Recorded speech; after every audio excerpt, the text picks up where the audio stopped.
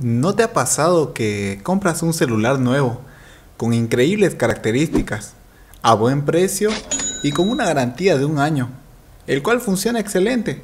Se disfruta la calidad del producto, pero pasado un año de uso o tal vez un poco más, empiezas a tener fallas con la batería. La duración de la carga disminuye considerablemente, complicando el uso habitual que solías darle al estar el teléfono físicamente en perfectas condiciones, procedes a ir al servicio técnico garantizado de la marca, en el que luego de una revisión te indican que dicho modelo de batería ya no se está fabricando, ya que ese modelo de celular ya no se encuentra en comercialización, sino que una versión más moderna, muchas veces con las mismas características. Y te dan dos opciones.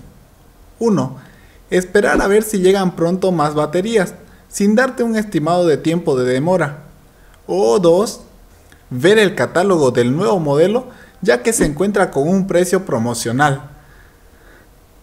Pues déjame decirte que tu teléfono ha entrado en un estado de obsolescencia programada, en el cual el fabricante te deja prácticamente sin opciones más que renovar el equipo. Por eso, en el video de hoy hablaremos sobre los tipos de obsolescencia que existen. Así que prepárate y comencemos.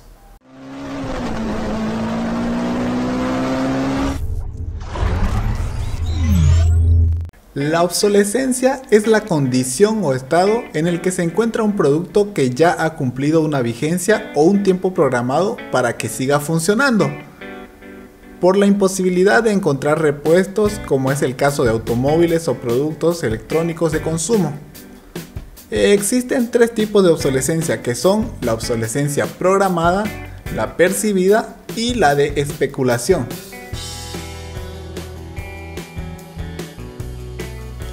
La obsolescencia programada es la vida útil que le da una fábrica o empresa a un producto cuando pase este tiempo de vida útil, el producto se volverá obsoleto o en algunos casos inútil.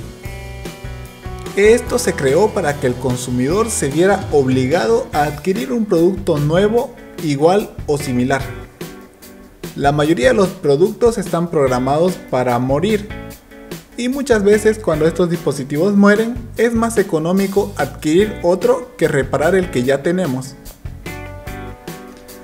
La obsolescencia programada asegura una gran demanda, por lo tanto las empresas tienen más beneficios y una continua oferta. ¿Sabías que las primeras bombillas que se vendieron tenían una vida útil de unas 1500 horas? 30 años después, se empezaron a vender bombillas que llegaban a tener una vida útil de hasta 2500 horas. Poco después se dieron cuenta que con bombillas que duraban tanto las ventas iban bajando. Por lo que se empezaron a vender bombillas que tuvieran una vida útil de solamente unas mil horas, es decir, mucho más corta.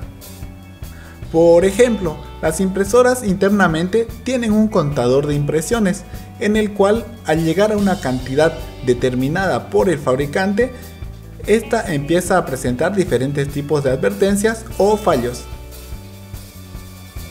También muchos sistemas operativos y programas informáticos suelen incluir en sus actualizaciones mejoras y variaciones en sus formatos de archivo que son incompatibles con las versiones previas, lo que obliga al usuario a actualizar todos sus dispositivos.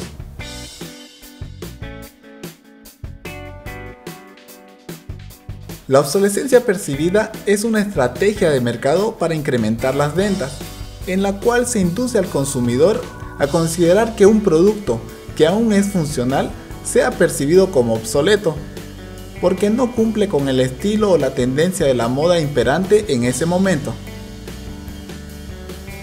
Por ejemplo, el funcionamiento del sector de la moda está basado en la obsolescencia percibida. Así, se promueve que el consumidor cambie su vestuario antes de que sea necesario desde un punto de vista funcional. Una persona posee ropa y accesorios en muy buen estado, lo cual son totalmente funcionales. Sin embargo, en su entorno social genera una presión tácita o explícita para que se renueve su vestuario debido a que no sigue las tendencias de la moda. Además, esta presión se ve reforzada por la publicidad y los medios de comunicación mediante campañas publicitarias. Estos mensajes son promovidos por personajes que generan tendencia en la moda, como actores, cantantes, diseñadores o los bloggers. Obsolescencia de especulación. Es cuando el producto se comercializa incompleto o de menores prestaciones a bajo precio, con el propósito de afianzarse en el mercado, ofreciendo con posterioridad el producto mejorado. Es la que más afecta a los ordenadores, móviles, tablets, etc.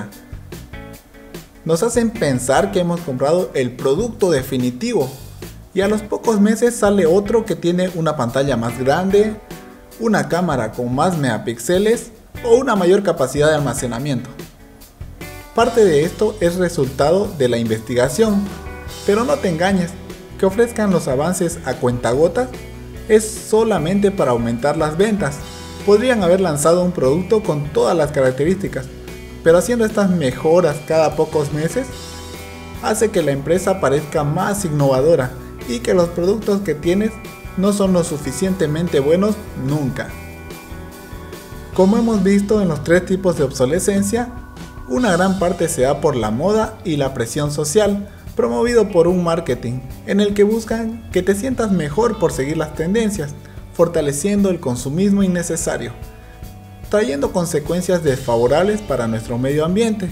Por eso te digo, estar a la moda no te define como persona, simplemente es lo que la sociedad espera que seas. Si has llegado al final de este video, te invito a suscribirte. Encuentra más contenido interesante sobre diversos temas en nuestros otros videos. Sin nada más que decirte, me despido y hasta pronto.